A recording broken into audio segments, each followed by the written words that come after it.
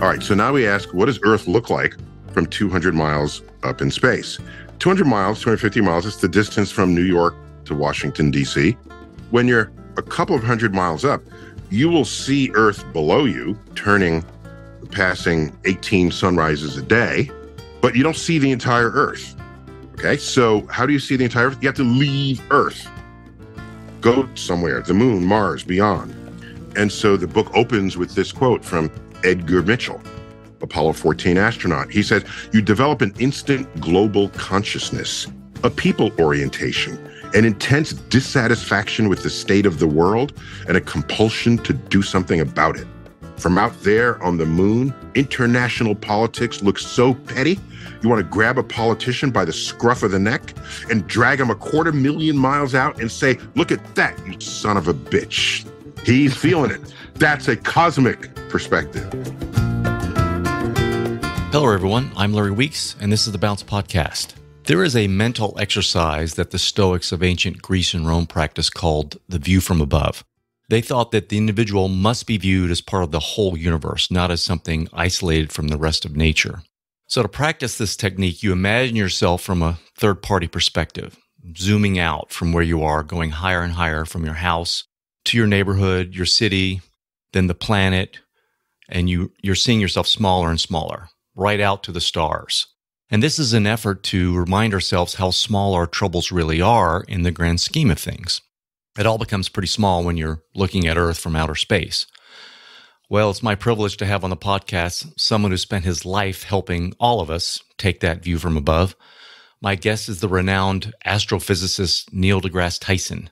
Neil is the Frederick P. Rose Director of the Hayden Planetarium at New York's American Museum of Natural History. He is the author of 15 books, many of them international bestsellers including the number one bestseller, Astrophysics for People in a Hurry. And his most recent book is Starry Messenger Cosmic Perspectives on Civilization. Neil is also the host of the Emmy nominated podcast Star Talk, as well as two seasons of Cosmos, televised by Fox and National Geographic. He has also received 21 honorary doctorates, as well as NASA's Distinguished Public Service Medal, the man has an asteroid named after himself, for heck's sake, and I'm very grateful he took the time to chat with me. On the show, we focus on the book Starry Messenger and we discuss cosmic perspectives and what that means. We also talk about the history and impact of space exploration. We revisit the moon landing. He talks about the allegory of the cave, uh, his view of the Mars missions and future space exploration. We talk about space as supply chain, uh, the solar system as a possible backyard, his personal vision for the future. We talk about how to think scientifically on scientific consensus and what to do in its absence. I referenced the pandemic when what we knew about COVID was constantly in flux. We talk about the social importance of probability, his views on God and faith. We talk about UFOs, aliens, and a review of the Fermi paradox. We get his views on artificial intelligence and on the new generative AIs.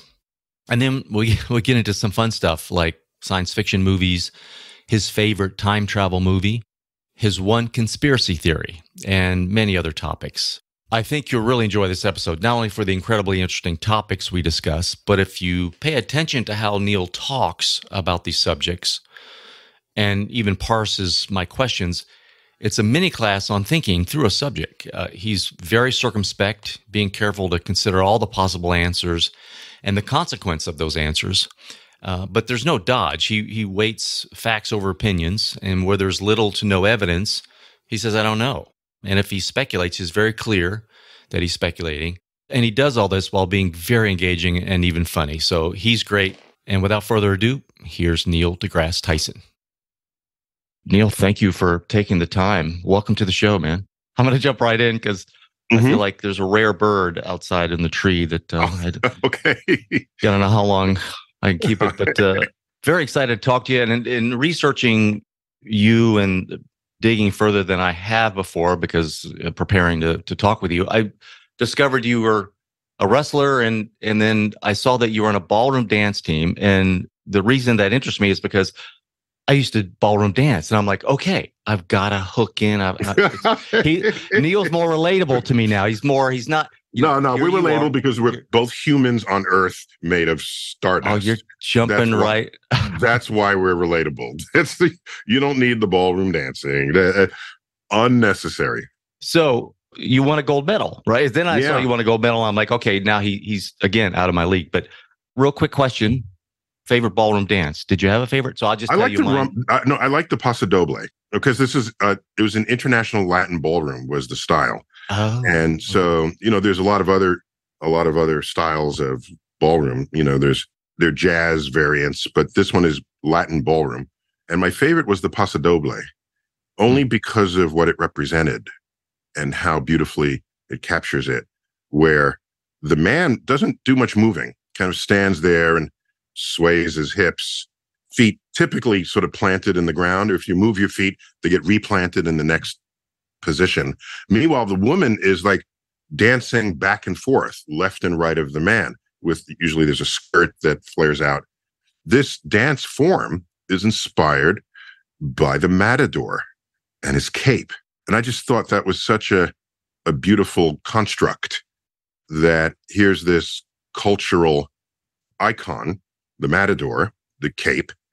And so when I create a dance out of it, and the cape is always flipping back and forth, getting and diverting the attention of the bull. And this is the woman as the man maneuvers the woman back in front of him and behind him. So for me, that was the most intriguing and interesting of the dances. very cool. So I'm going to use Mhm. your book, uh, Starry Messenger, as kind of a launch pad for our chat, and then as a touchstone to agree. But I, I'm I'm, I'm going to veer off the You questions. go wherever you got to go. Yeah, yeah, that's fine. And I, uh, But I'm a servant of your interests. So think of it that way. Thank you. Because I was looking, I'm like, well, he, Neil has talked about everything and anything, so I, I, I'm fine. I can go anywhere. I think. But the subtitle to me captures it. I think the cosmic perspectives on civilization, and I was going to ask you if anybody has ever created curriculum or if you have using astrophysics to kind of teach fundamentals of life skills. But this book kind of delves into that. In fact, you go into values exploration, but the cosmic perspectives you you have readers looking at or you had me looking at kind of all these debated topics things that are you know uh, or most discussed topics through this cosmic lens. And i thought of the movie dead poet society. I thought of the, the character robin williams plays this english teacher in the 50s when he in the classroom scene where he, he gets up on the desk right and he says Well, the movie's must from the 90s, but takes place in the 50s, I think. Right, right. Yeah. He, he- right. he jumps on the desk and he he says, "Hey, we need a different perspective. We need a different way of looking at things." You're you're Professor Keating here, right? You want us to to get on top of your desk and and look around. Am I right? Yeah, well, it's it's a again, I, I think of myself as a servant. So here's the world with the conflict and turmoil and disagreement magnified, exacerbated, certainly by social media platforms. And as a scientist, when I watch this unfold, I'm so disappointed in the absence of objective truth and rational thought that informs these conversations.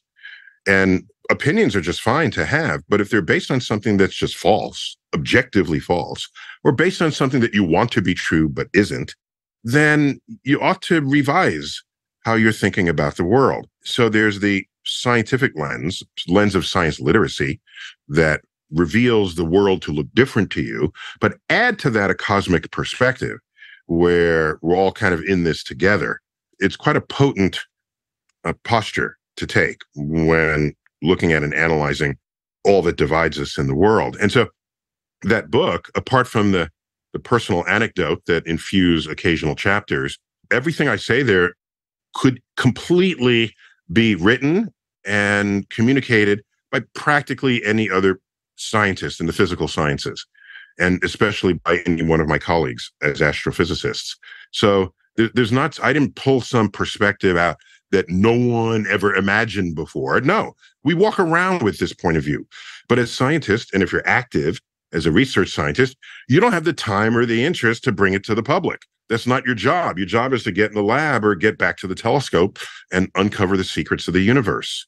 So I sit at that intersection where I have the insights and perspectives that all my colleagues have, but I also have insights and perspectives as an educator about what might be the best ways to communicate it. And this book, for me, is the pinnacle of that. So I want to talk about scientific thinking and and you because you discuss personal versus objective truth, but you also mention things like the overview effect that astronauts experience when they go into space. And they have this, some of them have what seems to be a kind of life changing perspective shift. Some astronauts report this feeling of oneness and connection. Is that part of this cosmic perspective you're trying to get across?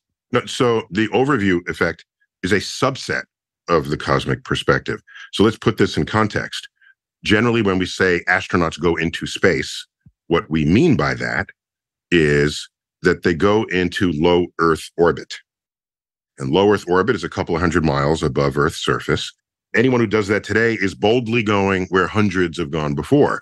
All right, so now we ask, what does Earth look like from 200 miles up in space? 200 miles, 250 miles, is the distance from New York to Washington, D.C. LA to San Francisco is farther than they are up in quote space. But that matters from what I'm about to say, because when you're a couple of hundred miles up, you will see Earth below you turning, passing 18 sunrises a day, but you don't see the entire Earth. Okay. So, how do you see the entire Earth? You have to leave Earth, go somewhere, the moon, Mars, beyond. And so, the opening quote to Starry Messenger is not from an astronaut who orbited 200 miles up. It's from an Apollo 14 astronaut who viewed Earth from the moon.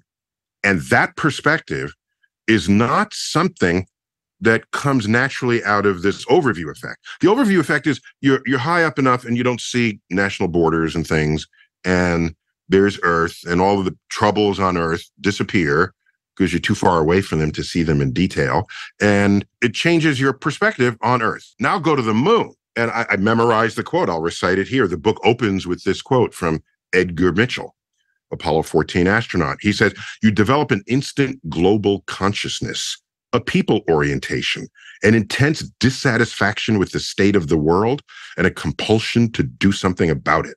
From out there on the moon, international politics looks so petty. You want to grab a politician by the scruff of the neck and drag him a quarter million miles out and say, Look at that, you son of a bitch. He's feeling it. That's a cosmic perspective where Earth shrinks in the distance and it is alone, adrift in the vacuum of space, as Carl Sagan poignantly put in his pale blue dot, uh, with no hint, with no hint that help will come from anywhere else to save us from ourselves. So, yeah, an overview effect is a subset. You get that en route to the cosmic perspective. And by the way, do I have a cosmic perspective? You damn right I do. Not because I've been to the moon, but because I think about the universe all the time, and as do any of my colleagues. We imagine being in space, what the stars are doing, how they're orbiting the galaxy, how galaxies are orbiting galaxy clusters, how the universe is expanding. So, actually going into space might add a t- an emotional touch to it, but intellectually, no, we're all there. Reading the book made me revisit kind of our space travel, uh, the space age, and our trip to the moon and what have you. And there were some insights there I just, you know, was never aware of. And the reason this is important because there is some controversial swirl about funding, you know, space travel, resources, billionaires now going into space or commercializing space flight. And by the way, often what someone says is controversial are people arguing without foundational grounds for that argument. So it is rare that I will call something controversial because you know what controversial should be? It should be given that there is climate change, do we uh, help industries break in with tax abatements or do we put tariffs on international trade? You can have a, a good, healthy political debate about that. And again, I wouldn't call it controversy. Let's just call it debate. We don't have an agreement on something. Controversy is this is bad. Don't do that. It's bad. It will hurt you. It will. That's when I think of controversy. But most things actually succumb to many things succumb to rational analysis, and that's what the book tries to highlight for people. Well, please keep me on the rational track here. Right? um, I, I, don't think of the funding of space exploration as controversial. You can debate it, but I don't think it's as controversy. I, I just want to. I, I, I, want to reserve no, words point. for Please. the precision for which they're invented. Please, yeah, keep me on track. So personally, I you know I was thinking about prior to the book and prepping here for talking to you should we commercialize space? I you know I, this is a debate in my head and like is this just is this too risky? So on and so forth. I, I kind of leaning what's the point?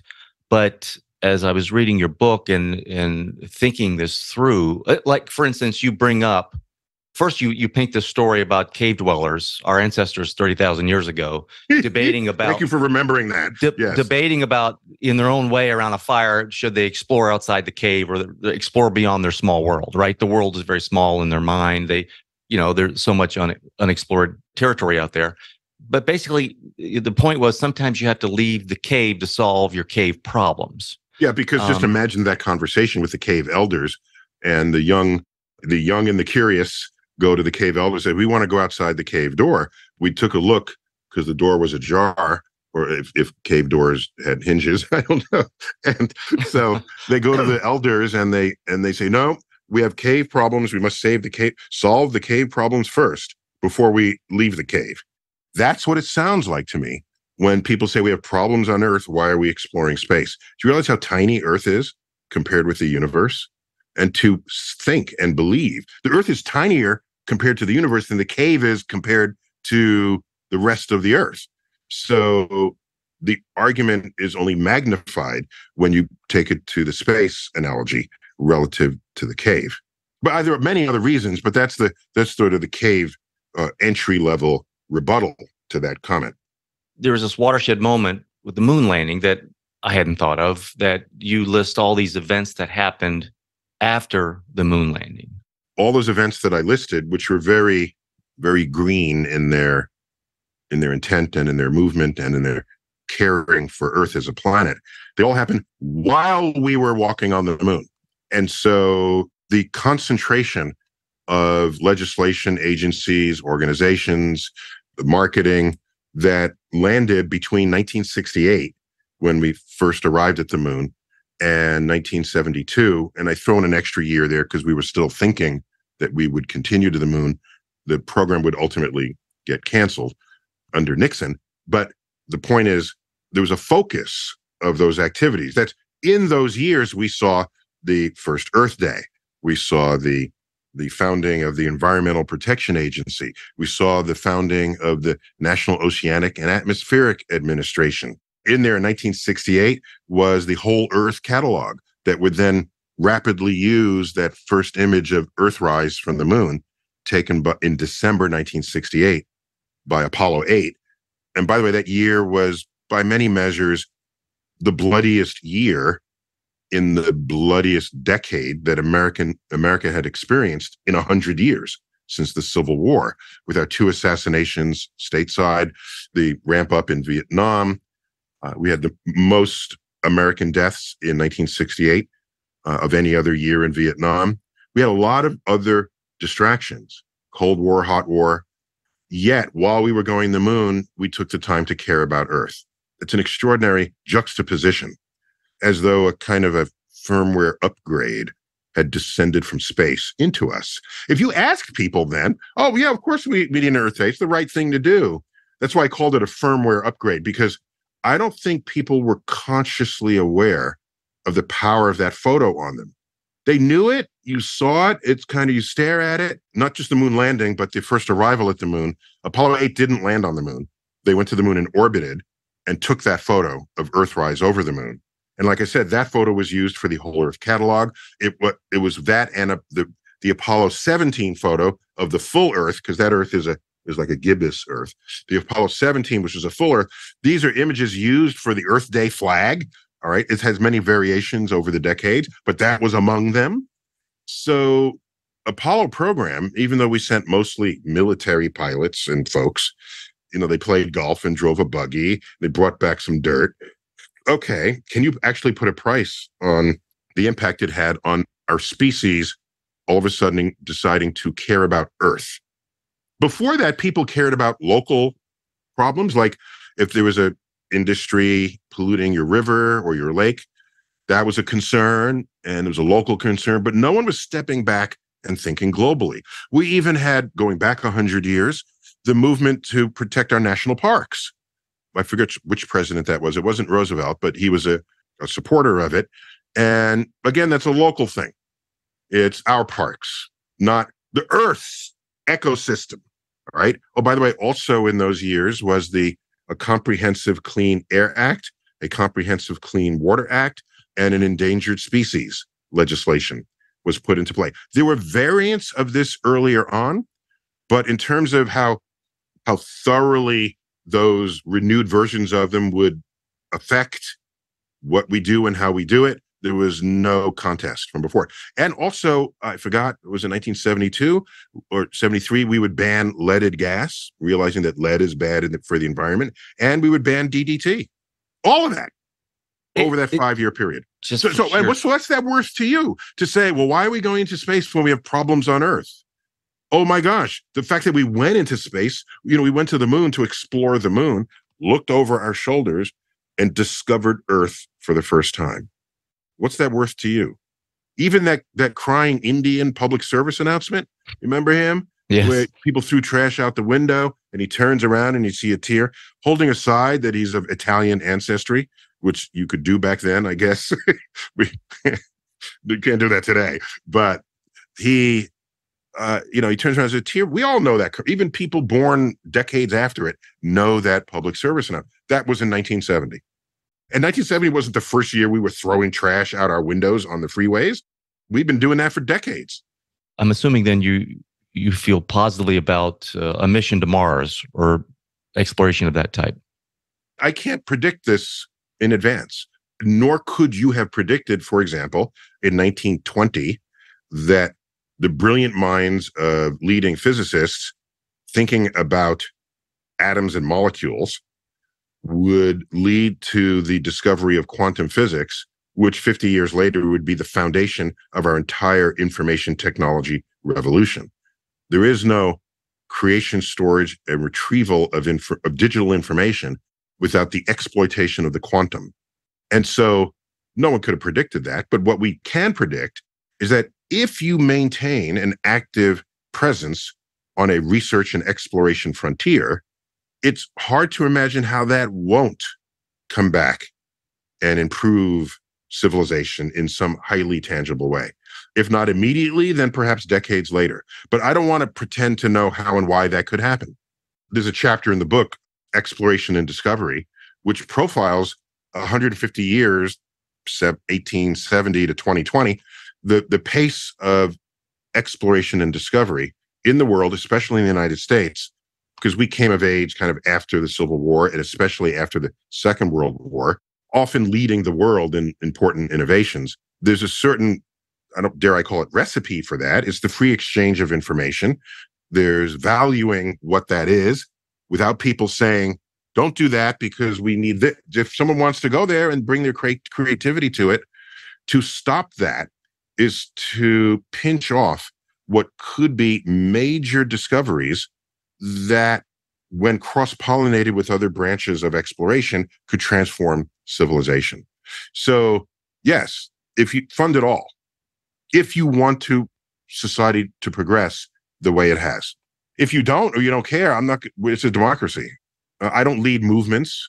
I don't try to get people to do things they don't want to do. Instead, as an educator, I will say, "All right, have you thought about it this way? Have you considered this information so that when you formulate your opinion, it has an authentic foundation on which to invest your emotional energy? And if not, then maybe you should rethink it." And then I go home and then come up with whatever opinion you want be it about investments in space or otherwise. Do you have a personal vision for humanity's future in space? What we might discover, create, become? Well, yeah, simple. When I say my vision, it's not like I'm, again, I, I don't tell people what to do. I just offer them perspectives that will help them inform what they think we should do because we're in a democracy. And I value that fact or, or republic, right? Representative democracy.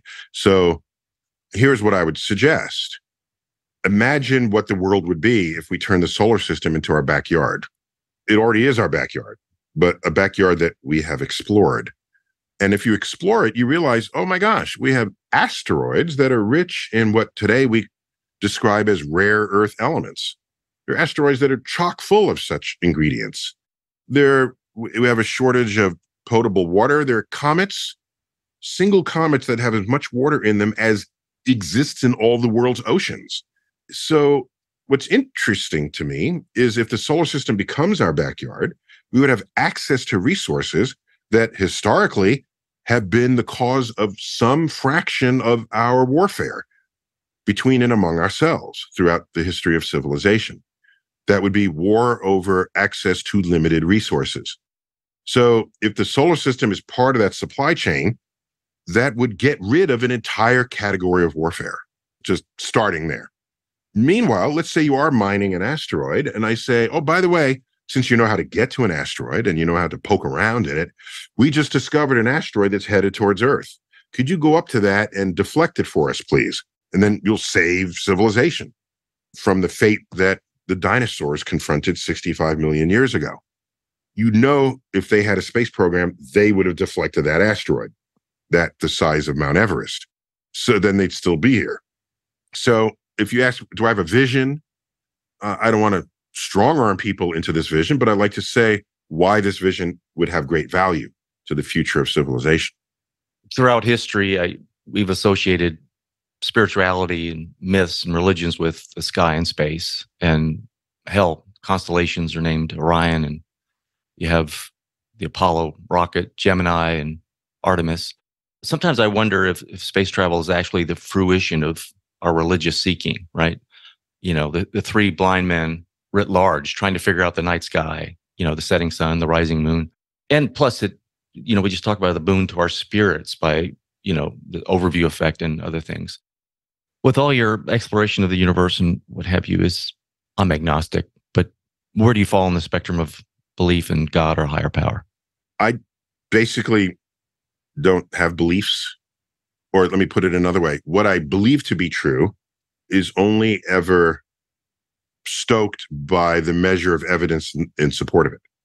And by evidence, I'm a scientist. So there's a quality and quantity of evidence that a scientist seeks that is typically a higher bar than most people, I have found. Um, most people don't really know what evidence is. They'll say, I met a guy who has high rank and he told me he was picked up by aliens. That's perfect evidence. No, it's not. Is the person human? Okay, so they're susceptible to human to human limitations in their capacity to recount information, to retell information, to what the state of mind was at the time they encountered. So evidence is different when a scientist uses the term. So on that scale, essentially all of what religions say about a man in the sky with a beard, typically illustrated that way, who creates the universe and looks over your every daily affairs. I don't see sufficient evidence in that to make that a part of my life's system of decisions and and operations and values. I, I just okay. don't see it. Part of it is many religions come with a whole retinue retinue of instructions, who you can love, who what you should eat on what day of the week, what you're doing on each day of the week. So it's not just a higher power. It's a higher power completely detailing what you should do in your everyday life. And so if you're deistic and, instead of sort of religious, you is it deistic? Is that the right word? Theist, deistic. Then you would say that a God created the universe and then it's unfolding as however it does. Right. So that would be still invested in a deity, but not then assuming that the deity communicated its intent through the pen of a human in a holy book written thousands of years ago, or in some cases just hundreds of years ago, with Mormonism and, and Scientology and Christian science and some other branches of faith. So my, my only point is that that would be considered Spinoza's God. So Spinoza was a, a Jewish philosopher who's actually excommunicated from Judaism. He not many people that doesn't happen to many people in Judaism, but he was content to imagine that the laws of physics that you measure in the universe are the manifestations of God. And again, that's a very different sort of place to put your thinking and beliefs than to say that same God tells me who I can have sex with and when. So before I leave space, I want to ask you about aliens. so sure. Fermi's paradox, the physicist Enrico Fermi asked the question if extraterrestrial life exists, where's everybody? What's your view as to intelligent life beyond Earth? So Fermi's paradox, the shortened version of it, which you just gave, misses a very important calculation that he did to justify that question. Because anyone could really ask that question, but he did a calculation. Calculation was looking at evolution on Earth to make humans, how long it took us to get technology. He said, if that's representative, then we might have intelligent life on other planets. And after how much time they'll build a rocket and then colonize a neighboring planet. Well, how long will that take? Well, let's say they don't quite reach the speed of light, but maybe 20% the speed of light. So you'll get to a star five year light years away in 25 years. Right? That's not that long. How long to cross the galaxy? Galaxy's 100,000 light years across. You're going one fifth the speed of light. It would take you a half a million years. The universe has been around for billions of years. His calculations suggested that if you colonize a planet and then from that colonize two other planets, and from those you colonize two other planets, you go from one to two to four to eight, 16, 64, et cetera, 32, 64, that you would completely colonize the galaxy on an evolutionary timescale. And given how old the universe is, where are they? They should have shown up already. That's the background of that calculation. And people tried to come up with good answers for that. I have a couple ones that I happen to like, which is if you're really that expansionist, then ultimately you will be the seeds of your own demise. Because we each, I want some planets. Well, you want some planets. So we go out and get our planets, and then we pass those genes on to our descendants, and they want planets too. There'll be a point where we each want the same planet because our territories will overlap and we will go to war over it. Oh, that already happened on Earth. We had the Spanish Empire, the French, the Dutch, the British. They're trying to conquer the world. They end up fighting each other. So maybe the urge to be everywhere is incompatible with the likelihood of staying alive to accomplish that goal. That's an intriguing one for me. Or just space is too hard to traverse, no matter future technologies. Or they've actually came upon Earth, saw all of our space debris, and say, "Oh, this is a, this is like a trash can. Let's move on." NASA has web pages where you can see the tracked debris that is orbiting Earth right now. It's pretty embarrassing. You think there's life out there that just is, well, if you study the problem, there's no reason to think there isn't. Okay. given the age of the universe and the yeah. ingredients of life, which is very common, the time that's been available, our number of exoplanets that we've put in the catalog is rising through 5,000. 27 years ago, there was one. Now there's thousands that will continue to grow. So the idea that we're alone in the universe, if you continue to think that, it's being driven by some point of philosophy that's not anchored in objective reality. It's anchored in a religion or some other philosophy that requires humans be uniquely special in the universe. So let's say we're not alone, but you don't think they visited. I, I, I think see, I've heard you talk about. I, yeah, I think I've heard you talk about the onset of the cell phone, smartphone. As soon as that was widely adopted, all the visitation pictures started dropping and, and yeah, yeah, yeah. We don't have any pictures of people getting abducted or being invited onto a flying saucer everyone has a camera today. So we no longer have to rely on your eyewitness testimony because in the court of science, eyewitness testimony is the lowest form of evidence you could possibly bring forth. So lights in the sky is not evidence of visiting aliens. If you can't explain the lights in the sky, you just, then you can't explain it. This kind of bleeds over into the topic of personal truth and objective truth. I want to talk to you about scientific thinking and and help me help us uh, think more scientifically. So here's the joke: four thousand astrophysicists walk into a casino, and nothing happens. So you have the story in the book I think this happened in 1986. Is that right? Yeah, 1986. Yeah. So the American Physical Society, which is way bigger than the subset among them who are astrophysicists. American Physical Society has materials physicists and particle physicists. The whole retinue of all the branches of physics are represented among them. They have an annual meeting where everybody shows up and have have lectures and you know student talks and this sort of thing. And it was scheduled to do it in San Diego. San Diego has become quite the convention city. That's where the annual Comic Con is held, most famous among the Comic Cons. But there was a snafu with the hotels. I don't remember the details of that. I was active at the time, but I wasn't paying close attention. They had to switch cities and on a short, relatively short notice for a conference of that size. And MGM Marina, today the MGM Grand at Las Vegas said, We'll take you at the time and today, still one of the largest hotels in the world in terms of numbers of rooms. And they said, We'll take you. And so they said they so they pivoted, went to Las Vegas. And a week later, it was a news headline that said, Physicists in town, lowest casino take ever. they just knew the probabilities, you know, the math. Well, well you know that you're likely going to lose. That's the whole business model of a casino. But it's not just that awareness. I go into that story because I hypothesize with, I think, very good evidence that our brain is simply not wired to think probabilistically or statistically about anything. We're not good at it. Then I look back on the branches of math that have been discovered over the centuries. You know, early on, there's like geometry and algebra, and then trigonometry and group theory. And then, you know, early 1700, eh, late 1600, there was calculus.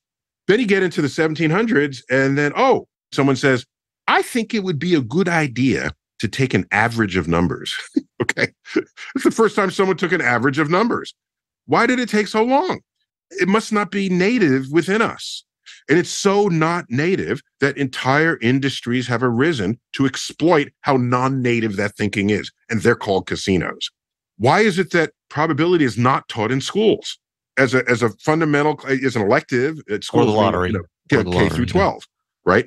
It's t- if it's there, it's an elective, but it's not a fundamental part of what anybody does. Now, if you'll grant me one conspiracy theory, I just want permission for one. Okay. You got it. Okay. Uh, the state lottery. Do you know where most of the revenue goes from that in most states? Um, edu- education. it goes into education, which helps you justify supporting the lottery because you know the. Oh, okay. Yeah. So my conspiracy theory is in order to keep people buying lottery tickets, they have to prevent you from understanding how bad your odds are. That's a Netflix series. That's next. Yeah. Oh, so the physicists just simply didn't play. In all my years of school, I've had probability and statistics for probably seven of them. It's not just something you learn in one semester and say, okay, I'm good now. No, we, it is hammered in all ways and hmm. means mm. and how you use it and different ways you invoke it and how to spot when someone else has not done their homework. W- w- would that be the foundation that you would offer to, for to, to think more scientifically? Just that'd be math, a start. probabilities. Oh, a start, okay. yeah, in school systems. Yeah, I'm not blaming people for this. The school system doesn't teach it. School system doesn't teach what it really means to think scientifically. You get a hmm. book and you learn some facts and they're bold-faced words that you memorize and you get tested on that for vocabulary and then you spit it all back for your final, then you move on to the next class. Maybe never opening the book again. Somewhere in there we need to be taught what science is, how and why it works, and why science literacy is your vaccine against charlatanism in the world. People who would exploit your ignorance of how the world works because you didn't know how the world actually works. Uh, so it's it's really an inoculation. So then I would assume in regards to the stock market, you would do index funds versus stock picking. No, unless okay. you have knowledge about it. You know, you okay. can you can vote your what you love. You can say, I like this brand. I like this product that they make. Maybe other people will ultimately like it the way I do. So then I will buy. I mean, what you're doing is you've heard that Wall Street is the world's biggest casino, right? And no, it's not entirely a casino because it's not completely random. Whereas a, a roulette table is completely random. so in a market, if I like a product and I think other people, I'll bet you're basically yes, it is a bet. You'll bet that other people will feel about it the same way you do, and then you make money on it. Or you bet that a product will fall out of favor and then you short it, right? I mean, so there. You're not just yeah, taking on the whole market saying I'm going to beat it, right? Oh, got index it. funds yeah. certainly smooth out the volatility of the market, but yeah. Oh, by the way, I do give examples of people who are the top 10 earning stock uh, analysts at any given moment. Okay. So I, I give, I show the data in the book. So these are people who claim they know what they're doing and they're, they're on another level. They're, they're not saying, oh, I like these sneakers. I'm going to invest in the sneaker company. They're saying, I'm looking at these analytics, da, da, da, da. Okay. So, and I'm beating the, and we're beating the market. Yeah, and they're beating the market. So you say, all right. So in the case that I'm describing, these are the people who beat the market uh, this past year, came out on top. So if they're really beating the market, they'll repeat that the next year and the next year. But if it's random in the procedures that they invoke, they won't think of it as random. They think of it as I have expertise that I'm applying here. That's why I'm on top. So watch what happens. Um, so I give the example: you get you get a, a hundred analysts no, you get a, a, a thousand analysts, whatever, whatever the number is. It's in the hundreds for sure. Okay. And, and you say, will the market go up or down today? And they say, I pick up, you pick down, three other people pick up. All right. Tomorrow, what will it do? Up, down. Or the next day, do you realize that if you start out with a thousand analysts, if they pick at random after 10 days, someone will have picked the market correctly 10 consecutive times. And all the press goes to that person. What were your what what did you do? Oh well, I I figured that this and this I made this calculation and I did this. Okay. How about next year? If their stuff is good, they can repeat this, but they don't. Do you realize only one? I did this for three years in a row of the top 10 analysts in a given year, and they make it to lists. Only one of them made it into the next year's list. And the third year, none of them were there. yeah. A whole other set of 10 people. It's very eye opening. Yeah. I don't see this getting talked about. It's hmm. just, I, I, I had 10 in a row. Random statistics will generate such a person hmm. every single year. And this is so a lot of a lot of the world thrives on our inability to think that way. So, Neil, is there a basic heuristic or, or a framework you can give us, me, for or, or, some filter to run my thinking through that's that's a little more scientific. And and, and let me give you some context because and, and maybe these are two different questions but i was thinking about when the pandemic hit and all the information that was coming out was new and things were changing on the ground all the time. And during that period everybody had to pick who we trusted as to the current then truth of things. So my question to you is when we're pre-consensus, if I could say we were, I, I'm not sure, how should we approach such phenomena? It's very good, um, very important question. So I can address a couple of elements of it. So one is if we really understood what science is and how and why it works, you would know that if you're eavesdropping on the frontier, on the moving frontier of science, it changes daily.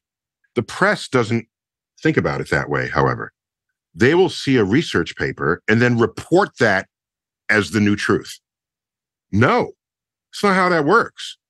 A research paper, even if it does everything perfectly, may not be correct because there's someone else could find a flaw in it that they didn't know about, or the, the wall current shifted, or there's something that they didn't see.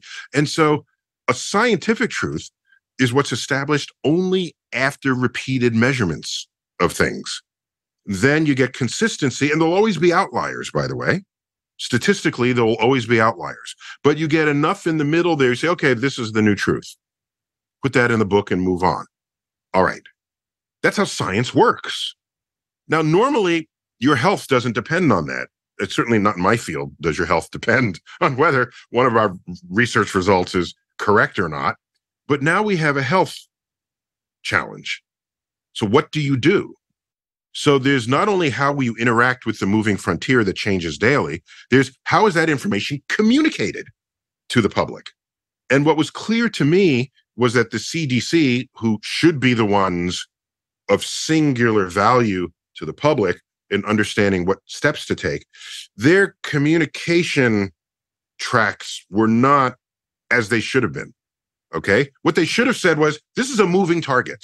And every week there's a different research paper, and we're going to find out whether there's enough confidence in any one research paper for us to go public with that.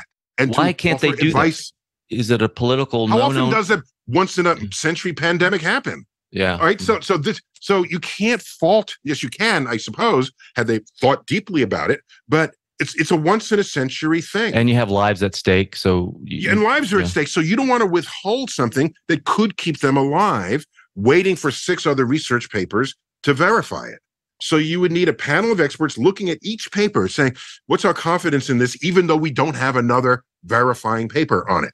Someone will say, well, someone did work on this in another context and it didn't do well for the people. So we should be more skeptical of this paper than I'm making this up, but it's an example of how you might approach this. That's how they should have done it. Then you don't say to yourself, well, you said this last week and now you're saying this this week. And then, well, what? So which is it? Well, the fact that, that you happened. even said that meant you were not trained in how to understand the moving frontier of science.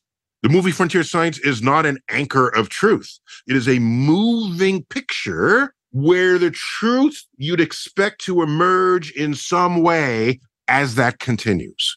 So there's we as people absent this perspective in our schools, there's the communication tactics of the agency. And with the internet, you have lone wolves out there saying, I'm an MD and you should, I wouldn't put that in my body. And they would say, well, they're an MD. Oh, no, you're now you're listening to one person.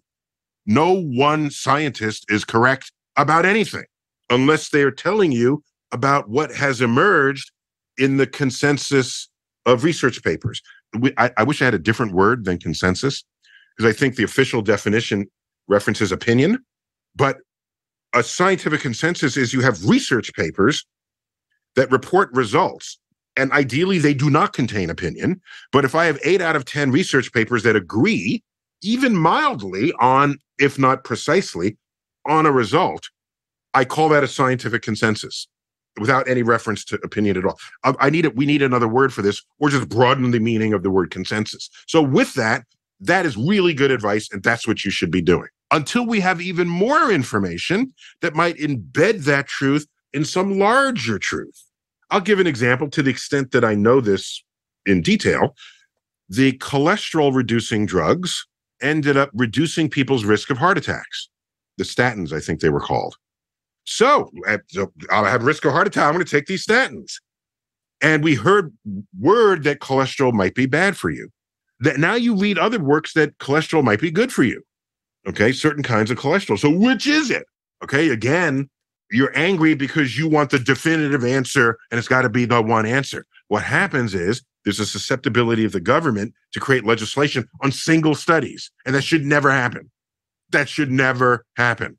The pyramid where they have grains at the bottom and meat at the top, the diet pyramid, that kind of should have never happened because they based it on one. It was a big study, but they based it on one study, not multiple studies that emerged a common objective truth out of that.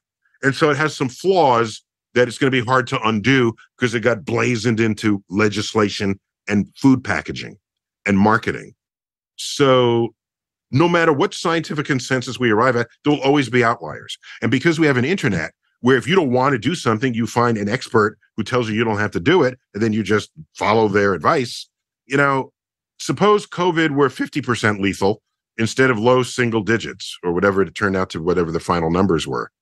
I'm betting people would have behaved differently. They would have looked more closely. I'm thinking. And if mm-hmm. they didn't, I, we should be trained to do so. So these are the challenges. And yeah, people want to just, or they'll do the research themselves. Really? Like, really? Okay, you need brain surgery today. You're just going to look up a few YouTube videos and then do it? No, because you know neurosurgeons are experts. They're people who devote their lives to this stuff. and a group of them offers advice, not just one, but a group of them, and you're going to say, "No, I did my own work and I my own homework." And all right, well, we're in our adolescence. I'm. Is it as simple as do your own homework, vet the credentials of where the information is coming from? I. Well, is your homework learn all about it and make your own decision, or is your homework vet the credentials? No, it's again, it's not about the individual. It's never about the individual because you can always find individuals that can say whatever you want. This is a problem in courts with expert witnesses. It's not about the one witness, it's about the consensus of scientific research and observations. Has it come together in a coherent answer? If the answer is yes, then you've got something. If there's no coherence, then you shouldn't believe anybody. If so, no, no, you don't say what are the credentials. It ain't even about credentials. What school you went to, what journal it was about. No, it's about what is the breadth of the research that goes into it. The National Academy of Sciences specializes in creating just those kinds of reports. Signed into law by Abraham Lincoln in 1863, a year he clearly had other issues on his plate.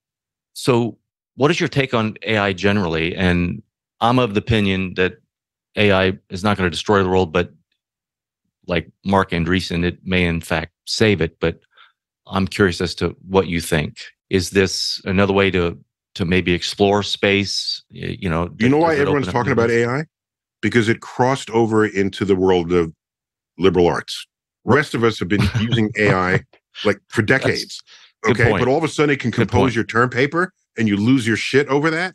Okay, uh, you run for the hills, and all of a sudden you're thinking about AI. Do you know how many things artificial intelligence are in today? You stopped declaring that Siri is AI because we're all accustomed to that. You can bark into this device thinner than a pack of cigarettes that I want to go to grandma's house the, the, the best way. Okay, let me calculate a route. Well, there's traffic if you go right. So let's go left and go around the bend and come around the other side. Is there human involved in that? No. Decisions are being made on your behalf by a freaking machine. And it's not rote. Computers are very good at doing rote things. When it's making decisions based on information it is acquiring that involves no in no human beings, that's AI period. Now, is it artificial general AI where it learns from its own mistakes? That's another level. Sure. Okay. But AI as a computer making decisions and helping me make my decisions, that's been around forever. Not forever, but for decades. In my field, it's got to do something extra than that for it to be thought of as intelligence. We've been having neural nets in my field help us reduce data that was of a volume too large or the volume too large to reduce and to then interpret. So we have computers helping us interpret data. So this has been going on. So now all of a sudden it composed your term paper. I'm saying, all right, deal with it. That's all. it's freaky. As soon as it becomes conversational, people, you know, freak out. You know, as... yeah, the liberal arts people freaked out. And anytime computers got smarter, I said, great, let's have it do the thing I'm doing and I'll think of something else to do. Now I don't have to do it. They should line up all the things that people have to write that no one signs their name to, like instruction manuals or things. let AI do it. So, can we go to the movies? So, first of all, like, are you like a difficult person to go to the movies? No, you know who like- the difficult person is at the movie? It's the person who read the book first they should just not go to the theater because oh this didn't happen in the book oh they the character development just stay the hell out of the theater okay i'm there i totally enjoy a film because I, I, I, can see you saying well that's not how a wormhole works but in my head so, i don't i don't tell you that unless you ask so are you a sci-fi i like a, a good high budget sci- science fiction extravaganza yes I, ju- I just i gotta ask what's your favorite sci-fi movie that would be different from what would be the most scientifically accurate I would say my True. favorite movie, Contact. Is there a time travel movie that I I don't know how to ask this question more accurate? oh yeah, yeah. Back to the Future. Back to the Future. Oh yeah, oh yeah. Back to the Future. To do they tell. thought more about time travel than any other movie. Get out! No way. Back to the Future One thought more about time travel than any movie I've ever seen. Just I'll give one example. You have to be like totally in on the movie on this. So Marty goes to the mall to film Doc Brown test his right time in the parking lot. That's in the right. parking lot. And you see a time clock next to him at the top of the the the ravine there, and it shows 115 or something in the morning. And it says Twin Pines Mall, and it shows two Twin Pines there. That's the name of the mall. Well, why is that the name of the mall? Well, most mall, many malls are named for the farm that used to be there before it became a mall. So when Marty is chased by the terrorists and he goes back in time, he goes back in time exactly 30 years from 1985, the year of the film, to 1955. And he lands in Twin Pines Ranch. Now, this being America, if you show up on someone's ranch in a DeLorean, what does the farmer do? He gets a gun. He gets the shotgun. this is America. Okay. Duh. That's what he does. All right. So then he gets out his gun and he chases Marty off the property. But while he's driving off the property, the two tiny pine trees that are sitting there are inside a tiny picket fence. This farmer cares about his two pine trees. It's called Twin Pines Ranch. He's got the two pines in his front lawn. There's a picket fence around him. Marty drives over one of them, quickly escaping the shotgun blasts. Now there's only one pine tree there. You don't even notice it, it just happens. At the end of the movie, when he returns to his time, they recreate this scene where he runs to, to Doc Brown. He's now recreating that scene. And there's the sign there with the time as 1:20 a.m. and it says Lone Pine Mall. So it's congruency that This that is freaking brilliant. Yes. It's not just an Easter egg, it's how much they thought about the causes and effects of the timeline. in the book you talk about earth and the universe as giant killing machines and and it's juxtaposed on the, the beauty of earth and the universe and it made me think about some extinction level event in, in our future and one of the questions popped up for me is how soon prior to if there was a meteor strike that we could pick up uh, and know that it would be head to earth how soon prior to that would we find out or could we know with with our current technology Well, the good thing about species extincting asteroids is that they're the biggest among them, which makes them easier to detect. So, what's a little more pernicious, I think that's the right word, is the smaller ones, of which there are many more. And the smaller ones we might not be able to defend against, but they would have the energy to easily obliterate a city. Uh, a city would be a goner. But fortunately, most of Earth's surface is not covered by city. It's covered by ocean and then by uninhabited swaths of land. So we need to think about all the kinds of asteroids that could harm us. So there is no large asteroid that could put the species extinct that we see on the horizon. But you want to be able to protect against it, even if you don't see one yet. And we, we, we currently don't have that ability. We're sitting ducks.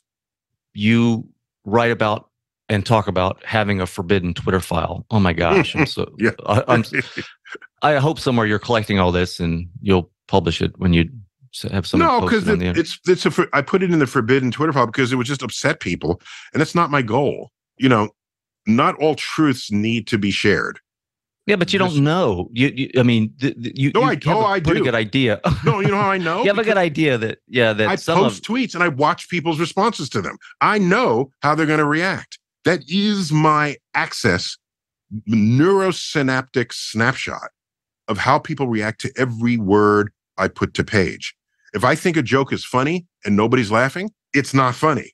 All right. If I think something's clever and no one thinks it's clever, it's not clever. This is my feedback loop. So, yeah, if I think it would upset people, I know it will upset people. Neil, thank you so much for for coming on, man. I I really appreciate it. this. Is fantastic. Okay, Uh, well, excellent. Thank you for your interest. Now, I like speaking to audiences that are not sort of your standard uh, science geek communities, and so I'm, I'm delighted to to be in your house with you. run for president, man. Please, No, come on. no, that implies you can swap out one leader, put in another, then all will be well. When there's the matter of the people who voted for the person you just took out, they're still out there. So the New York Times once asked me, if I were president, what would I do? This is in one of these periods of impasses in Congress, and government seemed to be broken, and they wanted to get opinions from different walks of life. So if you put a link in the, for that, it's if I were president, my first line is if I were president, I wouldn't be president. that's, the, that's, that's my first line. Then I go on and explain why. Oh no, you can't leave me hanging, Neil. No, go go see it. It's in. All it's right. online. Okay, All it's right. online. but it comes down to the fact that is the president someone who follows the will of the electorate or who leads it. If they follow the will of the electorate, then you should have no gripe against any politician because they're just doing what their electorate wants them to. And that's what's supposed to happen in a, in a democracy or in a republic such as ours. So I think leaders are in a democracy are overrated for their influence on the world. It's still the matter of the people who voted for them. What message do you have for them? And that's really what it comes down to. Neil, thank you so much, man. Appreciate it. All right. Good. Okay. See you again. Bye. Mm-hmm. Thanks. Cheers. Well, that's a wrap. Thank you for listening. If you enjoyed it, do share it with your friends and on your social platforms. Big thanks to Sam Williams, my audio guy, and the beautiful bumper music you're hearing is Michael Petrovich's Bella Luna. For all my show notes or resource links, visit larryweeks.com and we will talk again soon.